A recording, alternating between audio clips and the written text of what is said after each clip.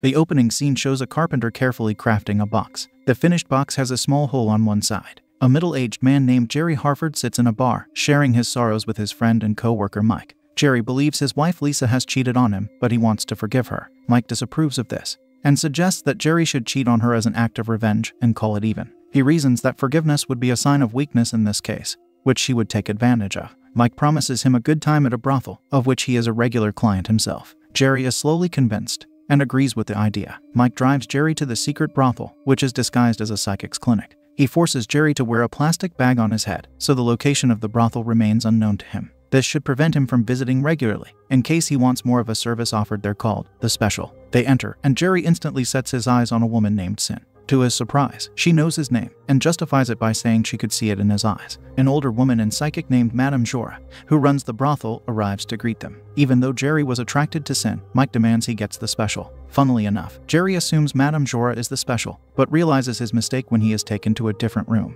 To his confusion, there is nobody else in the room. He begins to think it is all a joke when he finds a sealed box with a hole in it which says, Stick it in here. He scans for any signs of a prank and then eventually complies with the instructions on the box. Jerry thinks of what he has come to and finds it laughable, but soon enough, his entire perspective changes. He experiences something he has never had before and eventually passes out from exhaustion. When Mike finds Jerry, he panics slightly. He dresses him up, and Madame Jora asks a worker to help Mike carry him to the car. Jora warns Mike not to bring Jerry again because he is wanted by the special. Jerry wakes up in the car, still dazed by the extraordinary experience. He wonders what was in the box but Mike insists that it's best not to dig around. When they get to his house, Mike promises to take him to Sin next time because just one mystery box experience is enough for everyone. It's not a rule, but there is some reason behind it. Jerry's wife Lisa is upset about his late night drinking. To his surprise, she reveals that she's pregnant. Jerry considers his poor sperm motility, along with his suspicion that she has cheated. He blurts out that he doubts whether the child is his,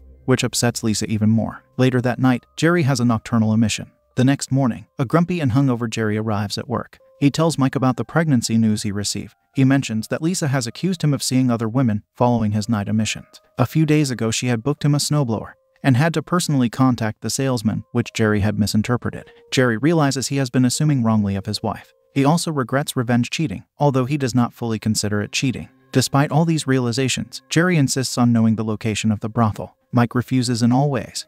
So Jerry takes it upon himself to find out. He books an appointment with a psychic during his lunch break. He visits and asks for Madame Jora's address. Eventually, he finds the brothel and offers to pay double for the special. After another exhilarating experience, Jerry begins to investigate the box. He checks the inside, but there's nothing. He then looks for any openings and finds a lock behind it. The box is light enough to be picked up, so he tries to steal it. Madame Jora suddenly enters as he attempts to leave, and she falls down, trying to stop him. Jerry hesitates, but steps on her throat to silence her and ends up suffocating her. He looks at himself in the mirror and soon rushes out with the box. Ivan, a worker at the brothel, notices him driving away. Jerry finds an advert for a motel in a public restroom. He checks in for a week and pays with his card. The owner explains the rules about cleaning up the room before checking out. Jerry hides the box in his room and rudely orders the housekeeper not to enter his room at any cost. At the brothel, a detective investigates the scene. He refers to Madame Jora by her real name, Anya Grabinski. Ivan insists that he is her only employee and security guard. The detective recognizes the smell of cigarettes and gets suspicious that the place hosts something more than the clinic, but Ivan is firm with his answers. Jerry returns to work and pretends everything is normal. Mike goes out drinking alone and jokes about men tending to be polygamous, which is why he is unable to settle down and get married.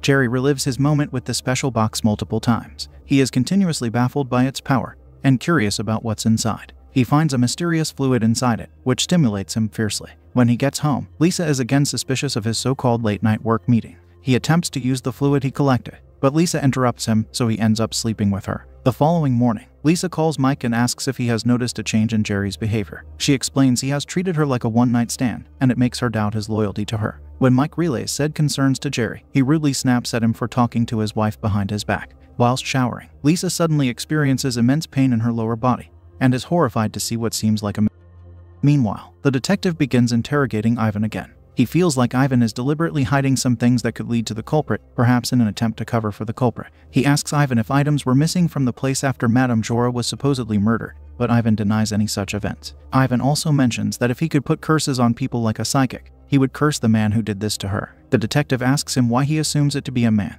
and Ivan replies that men often visit fortune tellers and psychics too. The detective looks at the mirror in the special room and something strikes him. He questions Ivan about any objects on the table, and Ivan mentions the wooden box as if it was a normal box. Jerry gets a rash on his pelvic and groin area after repeated use of the box. He sees a doctor who prescribes him an ointment and suggests cutting down whatever activity he has been engaged in. Jerry gets the ointment and goes back home to rest. Lisa tells him about her possible he nonchalantly apologizes at first, but then follows with a somewhat sincere apology and words of comfort. He then goes to sleep, the burning pain in his stomach growing past his navel. The following morning, Jerry rushes impatiently to the box he is now addicted to, but the magic seems to have disappeared, or rather, the fluid inside it has. He buys a bolt cutter from a store nearby and breaks open the lock. The box opens, but its contents emit a foul smell. Blinded by his obsession with whatever satisfaction the contents gave him, Jerry begins to utilize them. His rashes keep growing upwards, but he just applies the ointment and moves on. Lisa learns that Jerry has called in sick at work from his coworker. She also sees the name of the motel on the card payment receipts in the mail. She finds the motel and walks in cautiously,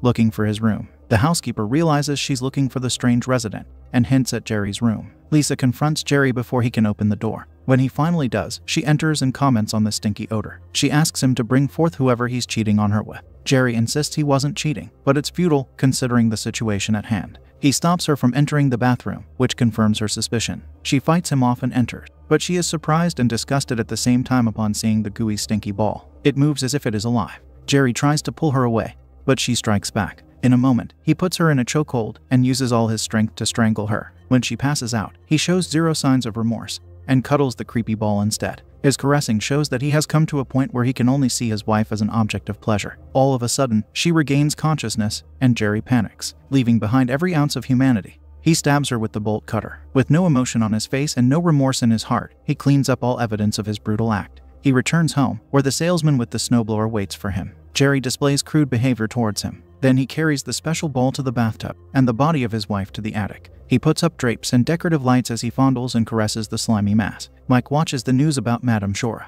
Ivan has stepped up to warn whoever murdered Jora and took the box. He mentions that he knows what is happening to the suspect, and he is the only one who can help him. Mike rushes out upon hearing that. Jerry checks out of the motel and gives the owner the keys. The owner wonders what he required the room for, considering he doesn't meet the criteria of his regular clients. He jokingly asks if Jerry was a fugitive molester or a murderer. Mike enters Jerry's house through the garage door and looks for Lisa. He finds the decorated room, but there is nobody inside. Jerry is seen throwing the box and the bolt cutter in the garbage somewhere, but the greasy glob is still at his home. Mike finds it and becomes concerned. Jerry comes back and meets Mike, somewhat delighted to see him. His rashes have reached his neck now, and Mike expresses his worries. Mike tells him about Ivan's warning and suggests he goes to him for help. Jerry ridicules Mike's assumption that he was behind Madame Jora's murder just because he stole the box. When Mike insists Jerry be taken to the hospital, Jerry suddenly gets riled up. He's angry at Mike for entering his house without permission. Mike tries to convince him that if he really did that to Jora, he can help him sort it out, corresponding to which Jerry brings up Lisa's body. Mike is stunned, and before he can digest this information, Jerry starts blaming him for starting everything. The quarrel ends with Jerry choking Mike with a plastic bag until he stops breathing. Jerry then goes to sleep, cuddling his magic ball. By morning, the rashes have taken over his face, and his teeth are shaking. He notices something is wrong with the ball. The doorbell rings, and it's his friends visiting for his birthday, but he doesn't let them in. When he returns, the ball has shrunk into a tiny black jelly like substance. Jerry mourns over it. Jerry then goes to meet Ivan with a face fully covered in rashes. His whole demeanor has changed, resembling that of a sobered. Ivan takes the remnants from him and plans to fix it. In exchange for the damage caused, Jerry lets Ivan know that it works for women as well, claiming that he tried it on his wife. Jerry asks Ivan if he can be a part of his team, and he receives a positive response. Ivan carves a similar box out of wood. As he works with the saw and drill, Jerry's condition keeps worsening. His hair and teeth fall out. The box is almost done, and Jerry has almost turned into a burnt, inflamed mass of flesh. His skin begins to melt like candle wax as he morphs into a ghastly creature. Ivan brings up the box, which is now titled Stick It In Here, and Jerry's deformed head is detached and put in the box. The detective visits Ivan with new information about Jerry's DNA found on Madame Jora's money bills. Ivan denies knowing such a person. He sees the detective eyeing his employees, so he offers him something better, the special.